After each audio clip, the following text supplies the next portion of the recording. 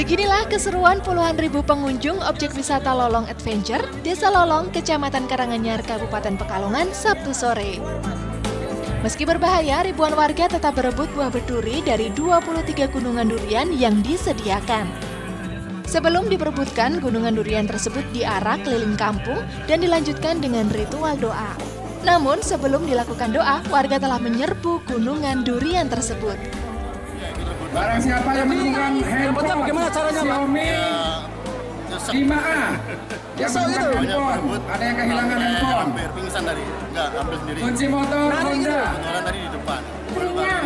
Baru kali ini. Samsung, handphone Samsung. Gimana Pak? Tanggapannya Pak? Nah, ini. Tanya Ya. ini Pak. Ya, Ya.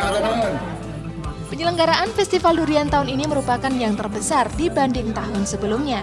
Bahkan perputaran uang selama masa puncak panen raya ditaksir lebih dari 10 miliar yang berasal dari 141 ribu kuintal durian yang terjual. secara umum ada durian lolok, durian eh, boyo, kemudian ada durian barang ya. Ada lagi durian doro. Durian doro itu ada durian lemah abang, nah, masih menggunakan identitas desanya, identitas desa. Rasa durian impor itu tidak tentu jauh beda dengan rasa durian lokal. Inilah justru durian lokal itu diminati oleh para pembeli Durian lolong merupakan durian lokal khas Pekalongan. Durian tersebut sengaja diberi nama sesuai dengan nama desa yang merupakan sentra buah durian. Triana Saifullah melaporkan untuk NET.